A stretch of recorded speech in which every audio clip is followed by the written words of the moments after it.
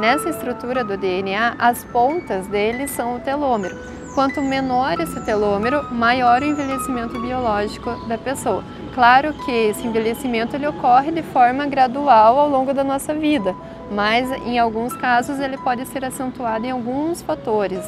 O envelhecimento ele pode vir pela próprio, pelo próprio sedentarismo, tabagismo, o câncer, a obesidade, todos são fatores que fazem com que haja um aceleramento desse comprimento do telômero, né, da diminuição do telômero.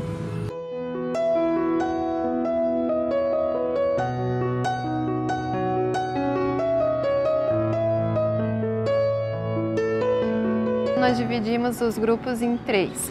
O primeiro foi com as mulheres de fibromialgia, de 20 a 50 anos de idade, um grupo sem a síndrome da fibromialgia, na mesma idade também, de 20 a 50 anos, e um grupo de mulheres idosas, com até de 50 até 75 anos.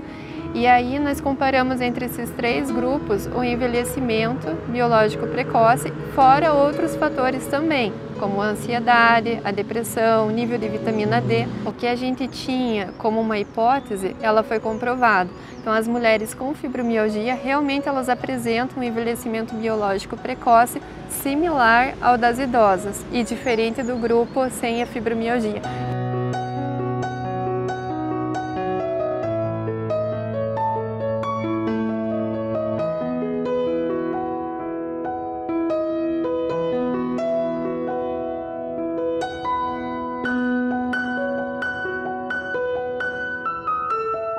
Vendo o exercício, a funcionalidade do exercício para a mulher com fibromialgia, o ideal é que sejam feitos exercícios de força, de aptidão cardiorrespiratória, de flexibilidade, para que dê uma junção de tudo isso e que os resultados sejam melhores para elas. A principal conclusão do nosso estudo foi que realmente o exercício físico ele melhora a qualidade de vida das mulheres com fibromialgia no sentido de que a gente melhora a força muscular, aumenta a aptidão cardiorrespiratória, melhora a flexibilidade e a partir dessas melhoras ela vai interferir nos outros sintomas também, como o envelhecimento biológico precoce, que foi o que nós vimos no, no nosso estudo.